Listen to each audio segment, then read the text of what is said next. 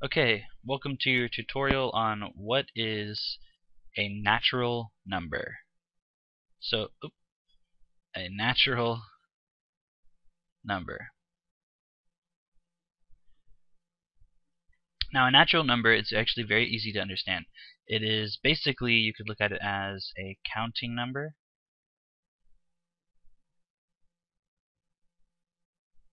And it's also a whole number.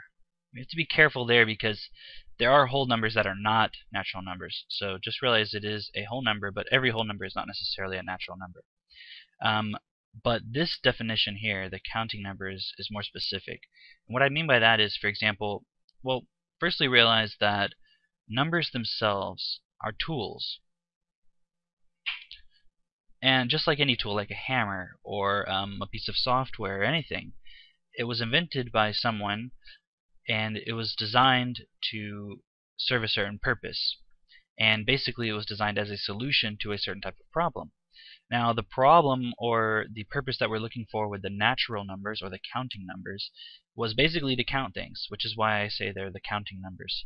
So, as an example, these types of numbers would be, or included in this would be 1, 2, 3, 4, dot, dot, dot, all the way up to a 1,000, dot dot dot to 10,000 dot dot dot all the way on to basically infinity. So any number that is positive, if you know what that means, it has a positive value and um, is a whole number. So you see all these are whole numbers. They're not fractions or decimals.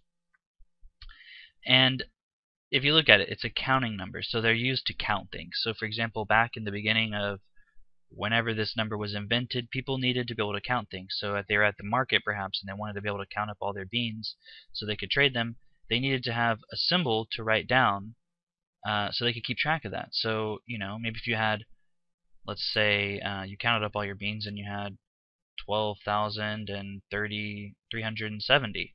Maybe you wouldn't be able to remember that, so you'd want to write it down. So having a number like this, a counting number or a natural number, would allow you to keep track of that. And um, yeah, that's the basic purpose of this. So the natural numbers were designed to be able to count things, and um, yeah, that's basically it. Uh, the next video will be on the integers, and you'll see how that differs from a natural number. Okay, thanks for watching. Remember to subscribe and rate and favorite, and leave a comment if you enjoyed the video. Thanks, bye.